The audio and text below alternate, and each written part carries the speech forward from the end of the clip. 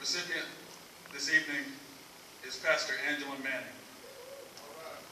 Pastor Manning has served as the senior pastor for New Life Ministries since the passing of her husband, Dr. Larry Manning.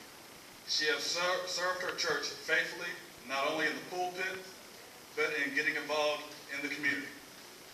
Through her leadership, New Life is involved with several organizations, including LODAC, the local transitional center, Martin Luther King, Martin Luther King um, observance, the NAACP, and the SCLC.